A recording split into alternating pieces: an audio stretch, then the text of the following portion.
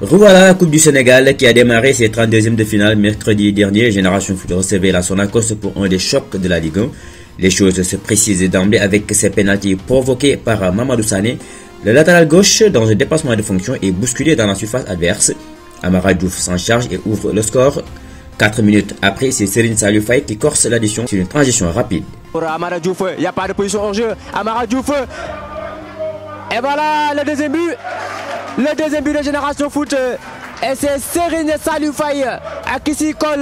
Le joueur la dixième minute. Et vous ne rêvez pas, la Sonacos est menée par 2 buts à 0. Touché dans le orgueil, les Juliers réagissent par l'entremise de Pape Suleiman John qui d'une frappe travail et limpide réduit le score. La génération Foot regagne les vestiaires avec cette avance précieuse mais courte parce que Pape Suleiman John va s'offrir un doublé à la 62e minute. L'attaquant excentré du Bellois se sert cette fois-ci de son pied droit pour crucifier Chegueye. La fin de partie a été stressante jusqu'à la séance fatidique des tirs au but. Les tireurs se montrent très adroits de part et d'autre. Après avoir réussi son tir, Chegueye arrête celui de son homologue Amarfal.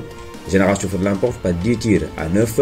Une qualification au forceps, mais satisfaisante selon le coach Dibufal et la pépite Amara Diouf. Vous avez vu que le match s'est soldé sur un score de 2 buts partout parce que l'adversaire a bien réagi en deuxième période. Donc je pense que sur le match, le nul était équitable. Et maintenant, sur les tirs au but, c'est un geste technique qu'il faut s'appliquer.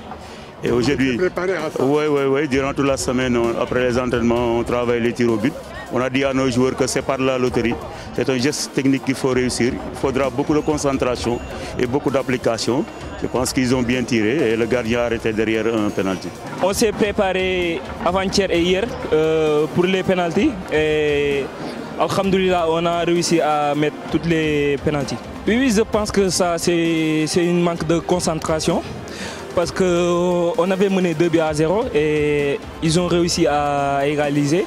Et je pense qu'on va essayer de travailler sur ça pour pouvoir gagner d'autres matchs euh, dans cette compétition. Les joueurs ont tenu à rendre hommage à leur coéquipier Idriss Gueye qui s'est grièvement blessé à la jambe gauche la semaine dernière.